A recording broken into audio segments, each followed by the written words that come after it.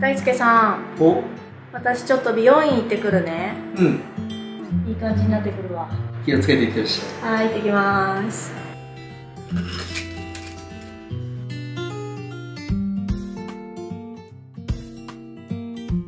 はいというわけで到着しました美容院ではなく、えー職場のサンセットスタジオでございます。以前ね私大輔さんにあの旦那のヒゲがだんだん減っていったら嫁はいつ気づくのかっていう検証をやられたじゃないですか。で全然気づかなかったじゃないですか。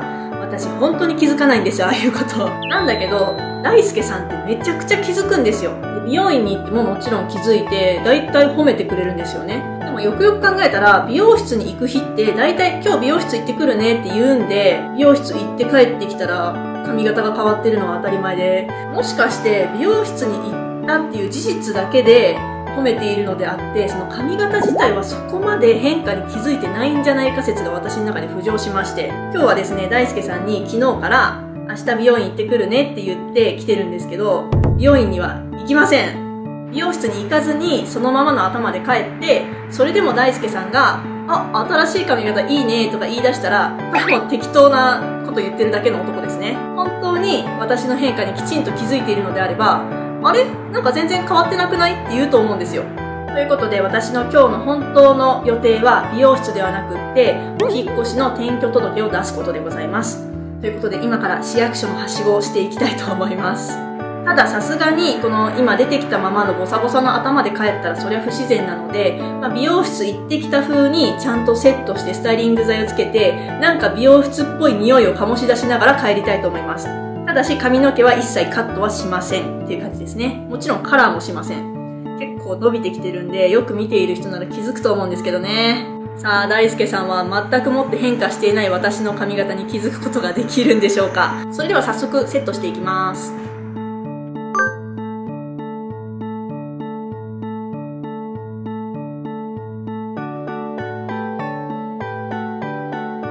最近ねパーマかけてからずっとふわふわしてたのでちょっとストレートで外羽シースルーバングにしたよみたいな感じにしてみました。で大体いつも美容室1時間半から2時間ぐらいかかる計算ですのでこれからまあ時間を潰すついでにね引っ越しに関わるいろんな手続きを市役所はしごしてやっていきたいと思います。それでは行ってきます。はい。というわけで、ちょっと市役所でのいろいろがね、思った以上に時間がかかって、実は美容院の日以上に遅くなってしまったんですけれども、これから大輔さんにね、ちょっと感想を聞こうと思います。あの、今、駐車場着いて、今から上がってきたいんだけど、あの、なんか新しい髪型どうみたいなやつ撮りたいから、リビングに行ってもらっていいですか？ああ、こっちも撮影してるけど、まあ、それでよければ。あ、ほんと。じゃあ上がってきます。はーい。あ、はーい。というわけで、じゃあ上がっていきたいと思います。ただいまおかえり。どう髪型？